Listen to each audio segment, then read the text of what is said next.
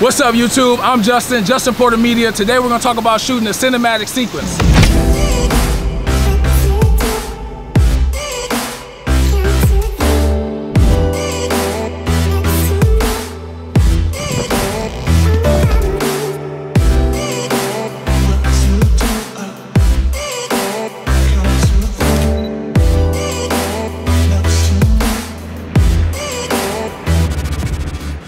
What's going on y'all? Welcome back to yet another awesome tutorial video. Today we're talking about creating that super dope, sexy cinematic sequence that you see almost every YouTuber do. Everyone does it no matter what the film is, no matter what the movie you're watching is. It has some of this dope B-roll, those cinematic sequences that are just super, super, super eye-pleasing. Today we're gonna talk about it. Today we're gonna break it down to what I believe goes into creating the best cinematic sequence and it should definitely help you guys out. You'll be definitely shooting better by the end of this video. So let's jump right into it. Before we get started, let me know what you guys think of this setup. I brought the camera in a little bit tighter this time. I got the mic a little bit closer, so hopefully the audio sounds A1 with that Rode NTG3. I really, really think this setup looks the best, but let me know what you guys are thinking. You guys are the viewers, so obviously I'm making these videos for you. Let me know what you wanna see and I'll make more of it and do it better every video moving forward. So anyways, let's jump straight into this, creating a cinematic sequence. So first we're gonna talk about audio, capturing good audio and incorporating some of that audio in your cinematic sequence. In my own opinion, it is more important to grab great audio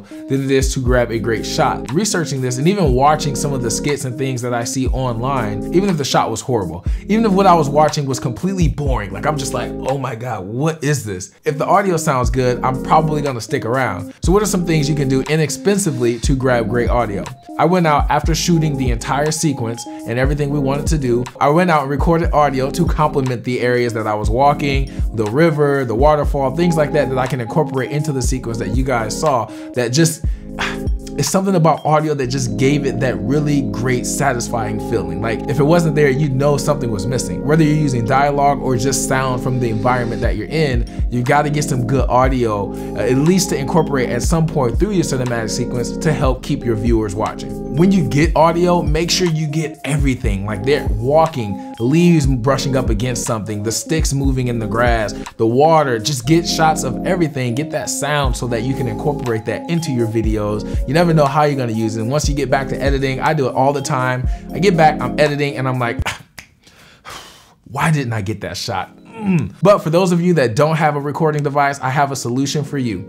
I personally use a ton of free sound or royalty free sound from different websites. My favorite being freesound.org. I'll leave links to all the stuff that I talk about today in the description, so be sure to check that out. But freesound.org is a free platform. You sign up with an email and a password, create an account, and boom, you got access to a vast variety of different sound effects, sounds, all kind of different things. I literally will go in there, type in like click noise, and boom, a whole list of click noises pop up and I can go through them. So now we've got audio covered. That's like the ground, that's like the bread of your entire cinematic sequence, right? You've got the audio, you gotta have good sound. You can get by with a sh with shaky footage. You can get by with, you know, out of focus shots, but having good audio, mm, that's gonna keep everybody watching. Now we're gonna talk about getting the shot and, and, specifically what some things you can do to turn a boring shot into a cinematic shot. The key behind creating a cinematic shot and getting that cinematic feeling that, why am I saying cinematic so much? Just cinematic, cinematic, cinematic, cinematic, cinematic, cinematic, cinematic. Anyways, so to get some of these really, really, really awesome shots, you've got to incorporate motion. Now I know some of you guys don't have gimbals, you don't have steady cam, stabilizers of any sort, and you're freehanding it, which is 100% okay. When incorporating motion into your shots, it can be as simple as a simple pan, tilts from low to high or high to low, and then walking with the subject, just small things like that. Now that we've talked about audio and we've talked about putting motion in your shots, Let's continue this on and go a little bit deeper and, and, talk about establishing shots.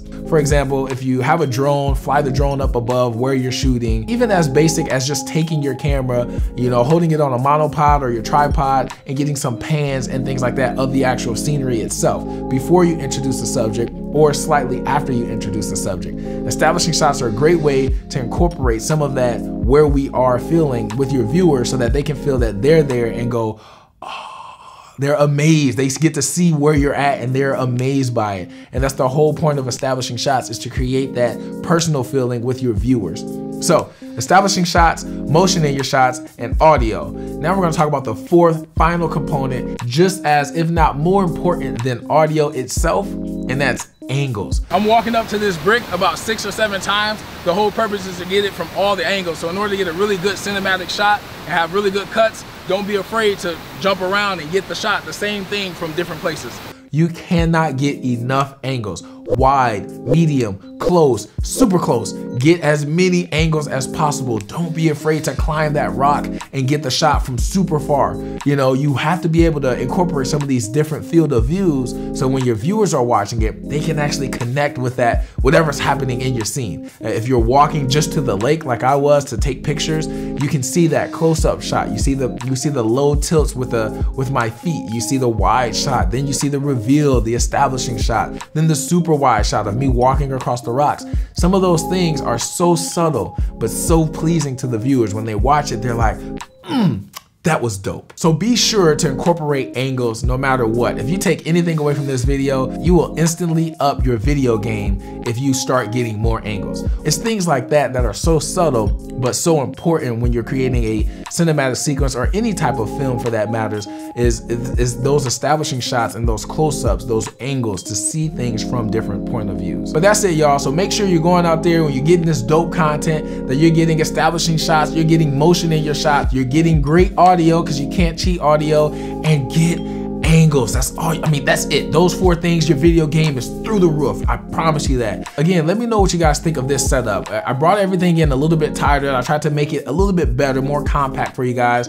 I think this is the, the view that I'm probably gonna end up sticking with. I, I've been trying to figure out how I wanted to record these studio shots. Let me know what you guys think though. How's the audio sound? How's that picture look? Just all of it. Just let me know everything. Drop some comments down below. But that's it. If you learned something, please hit that subscribe button. Hit that bell because I've got some very exciting things happening. I don't want to tell you right now. I know I said this a couple of times, but trust me, it's super exciting. When I announce it, you guys are definitely going to want to be a part of it. So smash that subscribe button, hit that bell. If you like this video, give it a thumbs up give it a thumbs up and share it. Share it, help me out, help another creator. I know there's other beginners out there. By you hitting that share button, you get to view it and get some knowledge, and then they get to view it and get some knowledge, and then they may share it, and then the next person gets to view it and get some knowledge. We're all just getting knowledge together. So share it, like it, subscribe, and I will see you guys next week when I tell you an exciting thing that took place this Labor Day weekend for me.